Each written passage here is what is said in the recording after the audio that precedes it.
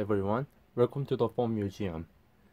Uh, recently, there's a WWDC 2020, uh, iOS 14 and iPad OS 14 uh, came out. Mm, there's a lot of features um, packed in this new iOS 14. Uh, some of the future you can experience in Android side, so I will tell you the new iOS 14 feature in Android. Um, in first, they try to show new home screen. Now, you can add widget on your main home screen, not a widget page. For Android, Android can add widget in home screen since Android 1.0. So for Android side is way used to it. And the it looks and uh, feels like to me it's more like Windows phone instead of Android. Because in my device it's set up to the three rows but if you change the two rows then the icons the small icons you can fit in four. And the widget is take like iOS 14 so in iOS 14 you can you cannot put a widget for example you cannot put widgets like between like this but Windows you can. So Windows size have more I'll keep it this way. Windows size has more um, customization for a widget. Like I say it's pretty similar because it's one by one it's an icon. You can make a widget and this size. So like a iOS 14. And new iOS 14, so you can swipe all the way right. Then you can see the all your apps and the Siri just make a, a folder for similar apps. But when you pull down, it looks like exactly like this not exactly but it's similar alphabetical order to you can sort out find some apps. So if you want to experience iOS 14 here you are. And the next I think most with user will like this feature which is PIP picture in picture. Um, iPad ha had this feature since iOS 9 I think but it's on iPhone now, so yay. However, Android had it since long time ago. Like this is Samsung Galaxy S2. It came out 2011. In this one, you can watch video, and you wanna go to calculator or something something like that. Then you can change size, or you go to calculator. Ta-da! Yeah. So, nothing new in here. So, only Samsung has this feature? No.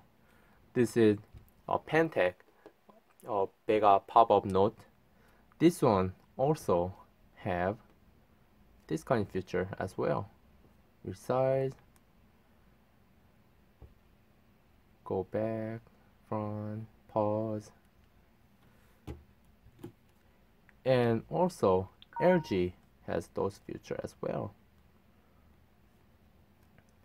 In LG they have more feature which is you can make you can change the transparency so you can see the background and watching video as well those kind of stuff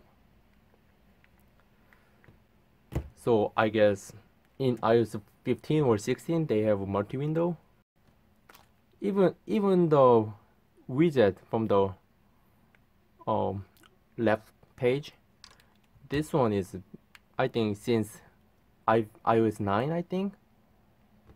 Th that one is similar to the uh, Samsung's own operating system Bada 2.0 which you can swipe. There's also another widget page. So yep all the widget thing going on so the phone can detect um, sudden sounds and let you know. And those features already in here so you would there's a sound then you can select baby crying detector or doorbell detector. So either you record your doorbell or those kind of stuff then when that sound the phone heard that sound then give you a notification so let you know there's a something going on outside of your house or babies crying those kind of stuff. A new Siri has been improved as well. On the bottom there's a Siri icon and those kind of stuff which is similar to Google Assistant. And similar to the Bixby as well like so. And also when you go to camera when you take a selfie now like other Android phones you can uh, save selfie as uh, flip left or right flip or just original copy. So now your iOS selfie user now you're gonna happy about it. That's for the iOS 14 and what about the iP iPad OS 14 so they show new way to using Apple Pencil. This is Samsung Galaxy Note 1 the first one. Mm, like so. It changed for me and you can also draw inside of the thing circle the arrow etc and another new feature they talk about it. This is Galaxy Note 3 handwriting. On the setting the keyboard setting you can change to the pen detection then if the phone detect the pen then it change automatically to the handwriting. So let's write something. Hello. It works. And any other place you have to type then it shows this icon and you can go to the www.google.com then here you are. Also they they talk about the it can change to the um, phone number and those kind of stuff. It's similar to this right? Zero zero zero one one one one.